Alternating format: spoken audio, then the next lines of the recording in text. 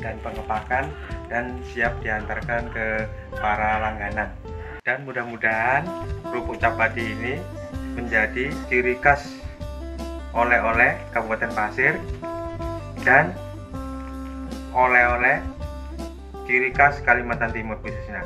Dan semoga kerupuk ini menjadi terkenal di seluruh wilayah Indonesia. Assalamualaikum warahmatullahi wabarakatuh. Selamat pagi, salam sejahtera bagi kita semua. Perkenalkan, saya Faisal Ridwan, Kepala Desa Pait, Kecamatan Longkis, Kabupaten Pasir. Kami selaku Kepala Desa menghimbau, mengajak kepada seluruh masyarakat Desa Pait yang kami cintai Untuk tetap selalu menjaga keharmonisan, kekeluargaan, ukhuwah Islamiyah dalam berbangsa dan bernegara. Assalamualaikum warahmatullahi wabarakatuh. Perkenalkan nama saya Edia Rudianto dari Sekretaris Desa Pait. Perkenalkan, saya Jayanti. Eh, di sini saya sebagai kawur keuangan. Eh, saya nama saya Abdullah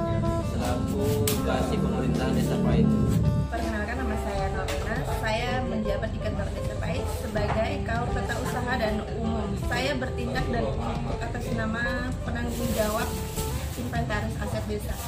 Kenalkan nama saya Joko Purnomo, saya di kantor desa sebagai staf kasih pemerintahan Desa Pait. Perkenalkan, nama saya Norbaia. Saya sebagai staf administrasi di Desa Pait. Nama saya Hini Triana, saya Kepala Urusan Perencanaan Desa Pait. Halo, Assalamualaikum. Perkenalkan nama saya Ita Iriani, bertugas sebagai pendamping lokal desa khususnya Desa Pait, yaitu di bawah Kementerian Desa, Pembangunan Daerah, Ketertinggalan, Transmigrasi Indonesia yang pembentukannya berdasarkan Undang-Undang Desa, bertugas untuk meningkatkan pemberdayaan masyarakat di desa khususnya Desa Pait. Perkenalkan, nama saya Yuni Asita. Saya selaku kasih pelayanan di Desa Pait. Assalamualaikum warahmatullahi wabarakatuh. Nama saya Rizky Ramadhani, kasih kesejahteraan Desa Pait. Dalam kesempatan ini saya mewakili seluruh masyarakat Desa Pait mengucapkan selamat datang dan selamat berkunjung di desa kami. Desa Pait juga bisa dikatakan sebagai desa pusat perekonomian di Kecamatan Lumikis. Kenapa demikian dikatakan seperti itu? Karena memang di Desa Pait sangat banyak sekali UKM-UKM yang berskala besar dan berskala kecil yang menyediakan berbagai alat dan bahan pokok makanan yang kita butuhkan di kehidupan sehari-hari kita. Jadi bagi warga yang ingin berbelanja dan menikmati berbagai macam kuliner yang ada di desa kami, silahkan datang ke Desa Pait. Insya Allah, apa pun kebutuhan Bapak Ibu tersedia di desa kami. Demikian penyampaian singkat dari saya. Salam hormat dari kami pemerintah Desa Pait dan seluruh warga Desa Pait mengucapkan Terima kasih yang sebesar-besarnya kepada seluruh warga yang telah berkunjung ke desa kami. Assalamualaikum warahmatullahi wabarakatuh. Waalaikumsalam. Eh, Kami DPD Desa Pahit, nama Muridin, jabatan Ketua BPD Desa Pahit.